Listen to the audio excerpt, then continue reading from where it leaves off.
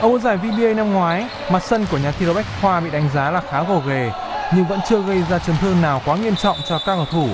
Bước vào mùa giải năm nay, Hà Nội Buffaloes đã có một mặt sân mới. Tuy nhiên, thực sự đây là một mặt sân rất trơn trượt, đặc biệt là từ hiệp 3 trở đi. Các cầu thủ không ít lần bị trượt ngã khi di chuyển với tốc độ cao hoặc đè người. Sự trơn trượt lý giải là đến từ chất lượng gỗ của mặt sàn, độ ẩm quá cao trong nhà thi đấu khi bật điều hòa không khí lẫn mồ hôi từ các cầu thủ. Những chấn thương là điều dễ nhận ra và cùng với đó, sự chính xác trong những pha bóng đã bị ảnh hưởng. Với tình trạng trên, nhiều cầu thủ đã buộc phải di chuyển chậm hơn và sử dụng lối đánh thiếu đi sự xôn xao vốn có. Tôi thấy mặt sân như vậy rất khó chơi. Tôi cũng bị trượt ngã vài lần. Tất cả mọi người, từ các cầu thủ lẫn khán giả đều không thể hài lòng với trận đấu chỉ vì điều đó. Độ bám của mặt sân là một trong yếu tố quan trọng ảnh hưởng tới chất lượng chuyên môn của bóng rổ nói chung.